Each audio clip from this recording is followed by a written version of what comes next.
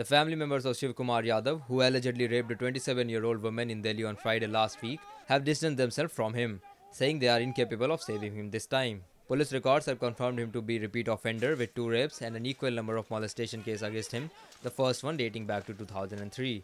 However, he was set off the hook every time due to lack of evidence against him. अफवाह हुई लेकिन कोई फंसा किसी में नहीं फंसा किसी में किसी में नहीं बता रहे कई बार आपको भी उसकी वजह से परेशानी झेलनी पड़ी परे, देखो परेशानी माता पिता पे तो आएगी कोई भी काम हो लेकिन सब हम किसी फंसाया किसी ने नहीं। कोई वैसी बात हम नहीं।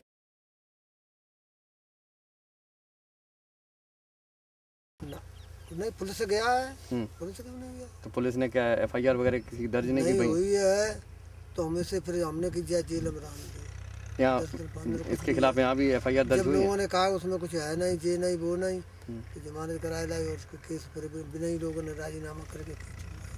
मतलब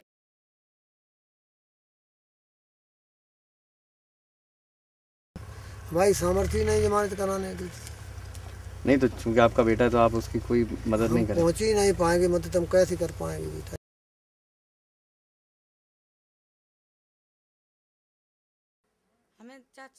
He assaulted me but never attempted sexual assault. He used to turn violent over land dispute. We didn't get along well. I earn and take care of my children. powered by NNIS.